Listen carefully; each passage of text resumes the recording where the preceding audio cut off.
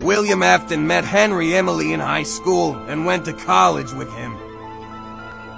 William was a very obsessive person, whether it was with toys or tools.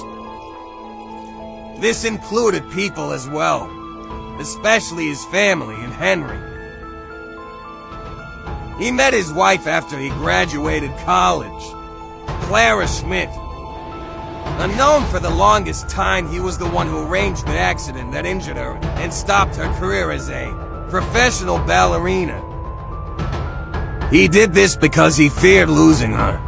He made Ballora as a gift to her, so that she could still experience her glory days through animatronics performance.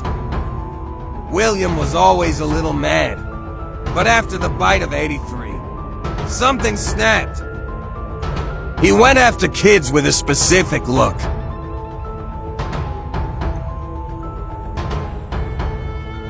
He first went after the kids that put Michelle's head in Golden Freddy. Except for his son. He saw how much Michelle's accident hurt his oldest emotionally and mentally. He felt he suffered enough, but their relationship was forever damaged. He also arranged an accident for Henry's wife. He felt like he was losing him. So he took her out of the picture. And soon he took Charlie out of it as well. He was insane, but a genius as well. He made the code that had his conscience on it.